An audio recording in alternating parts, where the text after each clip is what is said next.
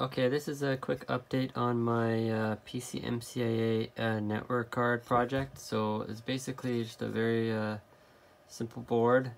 Uh, it has just one CPLD that's primarily, it does a little bit of address decoding and uh, multiplexing and then also it serves as the uh, level converter um, because it's 5 volt tolerant and the Pico is not. Um, so it's just a a Pi Pico W. And it uh, presents itself as um, as an NE2000 card. And and what it does is it lets you basically so this is a Windows 98 machine.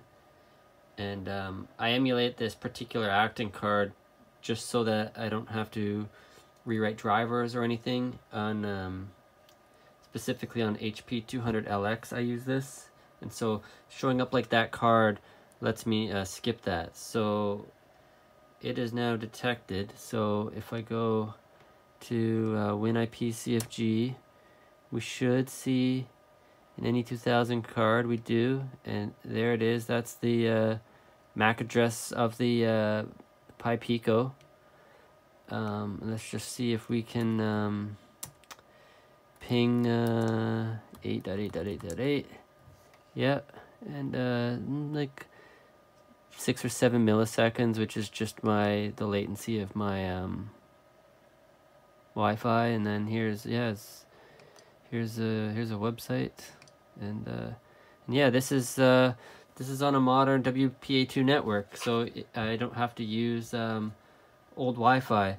Um, so right now it's it's this full size, but I, I envision to stick it into a case like this big and the uh, Pico would just be contained inside of there. So basically, um, I'd use one of these frames and get the the uh, little uh, plastic piece kind of adjusted so that I can just mount it like that and have a little cover over it. Um, uh, yeah, so that's that's where that's where I'm at, and uh, and I'm looking at potentially moving my sound card functionality onto the, the Pico. Although the real focus of this is a network card.